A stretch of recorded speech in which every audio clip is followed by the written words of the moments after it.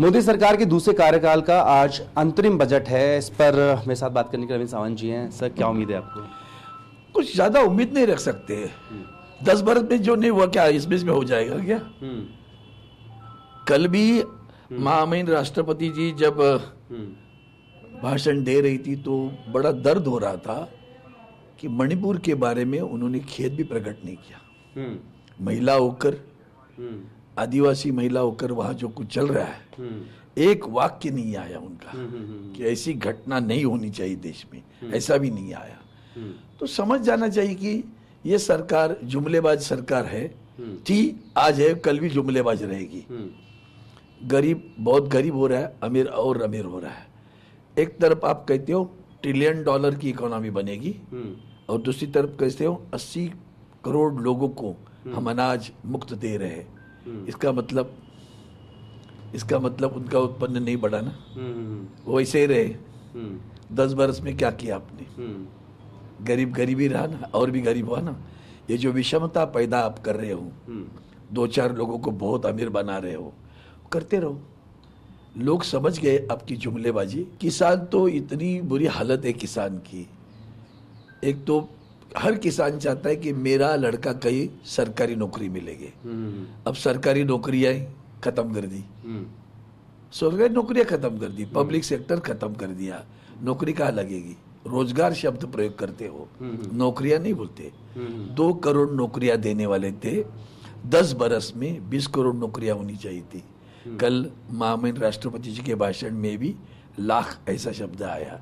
कुछ लाखों लोगों को हमने नौकरी दी करोड़ की बात ही नहीं है। इससे समझ जाना इनकी असफलता ढकने के लिए।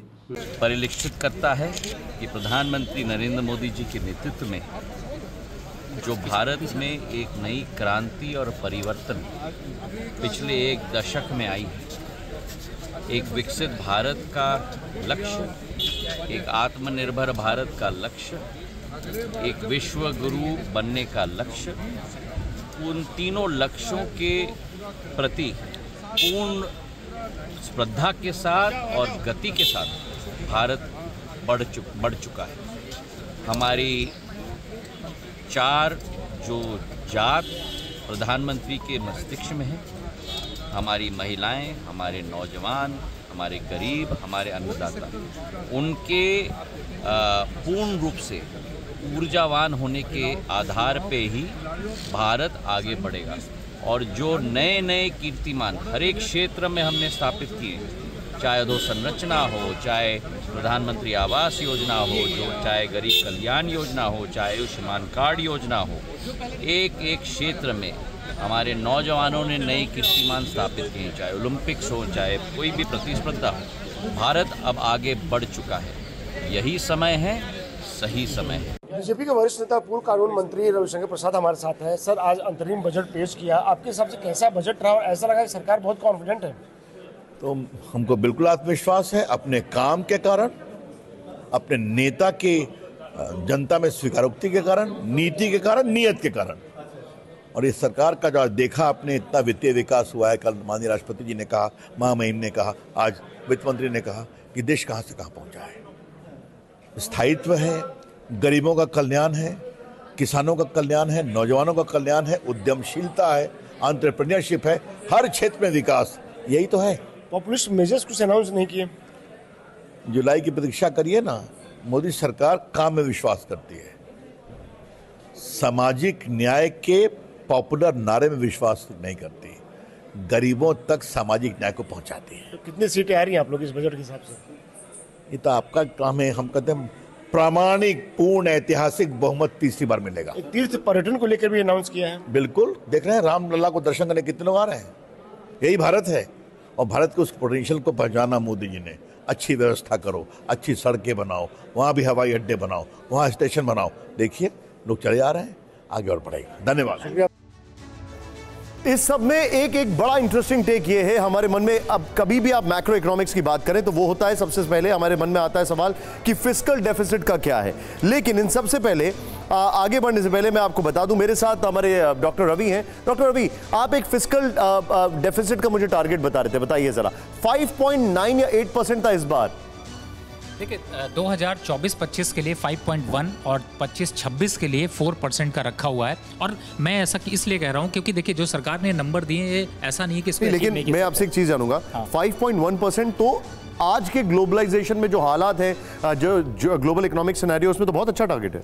बिल्कुल बहुत अच्छा टारगेट है और इसी कॉन्फिडेंस देखिए हर बार आपने अभी स्टॉक मार्केट को रिलेट किया था मैं उसी को कहता हूँ क्योंकि सबसे पहला रिएक्शन जो होता है वो स्टॉक मार्केट दिखाता सर है। देखिए मुझे देखिए गिरा नहीं। हाँ, लेकिन मुझे मार्केट का रिएक्शन में with a pinch of salt लूँगा क्योंकि वो उनको वो नहीं मिला जो वो उम्मीद कर रहे थे लेकिन इसका मतलब ये नहीं कि सब बर्बाद हो गया। नहीं सर पीछे से आपने नहीं देखा ना दो दिनों से मार्केट में आठ से दस प्रतिशत की तेज़ी डिफेंस काउंटर में तीस प्रतिशत की तेज़ी और आ, खास तौर से पीएसयूज में देखिए तो कम से कम आपको बीस परसेंट की तेज़ी हो चुकी है तो थोड़ा तो मुनाफा हमेशा तो सरकार सेंटा क्लॉज नहीं बन सकती ना आकाश सर।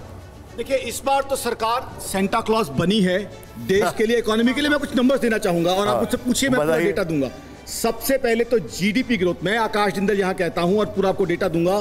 सवा परसेंट इस वोट ऑन अकाउंट पे जो अनाउंसमेंट की गई है उसकी वजह से बढ़ जाएगी। सवा परसेंट। आईएमएफ ने प्रिडिक्शन की है साढ़े छह परसेंट आने वाले दो साल की। मैं आकाश जिंदल आपको कहता हूँ seven point seven five percent जो है जीडीपी ग्रोथ रहेगी आने वाले दो साल में। ये मेरी एक्सपेक्टेशन मतलब आपको पता है ना कि आप हमारे हर साल के गेस्ट हैं। मैं यही साल जी ने ये तय कर लिया कि अगले साल भी तो वो गेस्ट होंगे तब हम उनसे ये वाली बिल्कुल बिल्कुल पूछिए मुझसे बिल्कुल जी बिल्कुल। तो मुझसे आप पूछिए और मैं आपको जवाब दूँगा उसमें और उसके पीछे लॉजिक है। जीएसटी कलेक्शन दस हज़ार करोड़ प्रति माह इससे बढ़ने की संभावना मुझे ये है एक, एक ये मेरा एक, एक बड़ा, बड़ा फैक्टर है जो मैं आपसे जानना चाहूँगा, लेकिन हमारे और मेहमान हैं यहाँ पर। सर, मैं एक एक मिडिल क्लास हूँ, मैं टैक्स देता हूँ। सरकार बहुत खुश है डायरेक्ट टैक्स बढ़ गया है टैक्स कलेक्शन बढ़ गया है। चलिए थोड़ा सा मुझसे बड़ा दायरा उन लोगों का है जो मिडिल क्लास और अपर मिडिल क्लास में भी आ जाते हैं और रिच क्लास का थोड़ा सा वो, उनका जीएसटी भी बढ़ गया है, वो भी बड़े खुश हैं। लेकिन हमें मिल क्या रहा है? कुछ नहीं, मैं कह रहा हूँ मिडिल क्लास को डायरेक्ट अगर आप देखें तो कुछ भी हाथ में आता नहीं दिखता।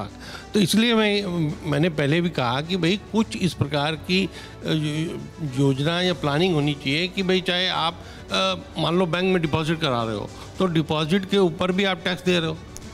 आप पेंशन ले रहे हो, उसके ऊपर भी आप टैक्स दे रहे हो। कहीं तो रिलीफ कहीं किसी को सर आप देखिए अभी हमें रिफंड पर टैक्स नहीं देना पड़ रहा है। लेकिन लेकिन निशान निशांत सरकार ये कह रही है कि 50 प्रतिशत तक आपकी आमदनी बढ़ी है लोगों की आमदनी जो रियल इनकम हाँ है ये एक बात है 50 प्रतिशत बढ़ी है ये एक बात है जिससे मैं एग्री करता हूँ की अगर जीडीपी बड़ा है आपकी इकोनॉमी बेटर कर रही है तो उससे आपको इनडायरेक्टली फ़ायदा तो हो रहा है।